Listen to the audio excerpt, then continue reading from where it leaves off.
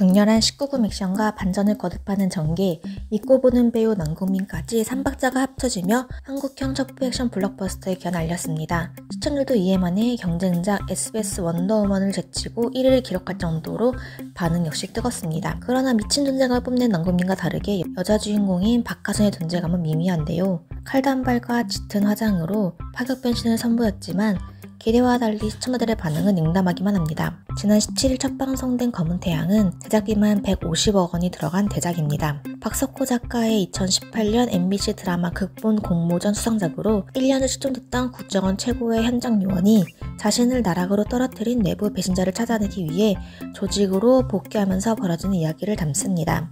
무엇보다 검은 태양은 김과장, 닥터 프리즈너, 스토브리그, 낮과 밤 등을 연이어 히트시킨 남궁민이 주연을 맡아 방송 전부터 뜨거운 기대를 불러일으킨 상황이죠. 베일을 벗은 검은 태양에서 남궁민은 시작부터 강렬함을 선사하며 기대 이상을 해냈습니다. 털복숭이 얼굴에 피칠갑을 한채 터질듯한 근육을 드러낸 남궁민의 모습에서 캐릭터를 위해 무려 14kg이나 증량하며 몸을 키운 그의 남다른 노력이 엿보였죠. 한지혁 캐릭터를 덩치와 근육만으로도 위압감을 주는 인물로 표현하고자 했다는 남궁민은 몸 자체만으로 캐릭터에 더 강력한 인상을 부여했습니다. 기억을 잃고 아무런 두려움도 느끼지 못하는 괴수와 같은 모습과 함께 어떠한 상황에서도 냉철함을 유지하는 특유의 무게감, 디테일한 감정 연기 역시 탁월해 강한 흡인력을 선사했죠. 그러나 남자 주인공만큼 주목받아야 할 여자 주인공의 존재감이 잘 들어가지 않는 점에서는 아쉬움이 따릅니다. 박하선은 평일 오후 3시 연인부터 며느라기, 산후조리원까지 다채로운 매력과 연기력을 선보이며 작품 세계를 연달아 해시키는 등 연기력을 인정받은 배우죠. 코믹부터 사극, 전극까지 모두 소화했던 박하선은 검은 태양을 통해 지금껏 보여지 않았던 색다른 비주얼을 선보였지만 이전 작품과는 다르게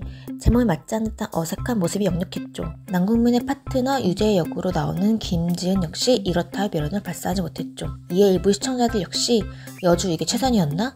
박하선 나오면 흐름이 끊기는 느낌, 연기 너무 어색하다, 머리 좀 어떻게 했으면 등의 부정적인 반응을 보였습니다. 남국민의 하드캐리 결과 이해만의 평균 8%, 순간 최고 시청률 11%대를 돌파하는 청소를 보이긴 했지만 여자 주인공이 시청된 채 남국민 혼자 멱살지고 끌고 가는 모양새로는 시청률 상승에 한계 따르기 마련이죠.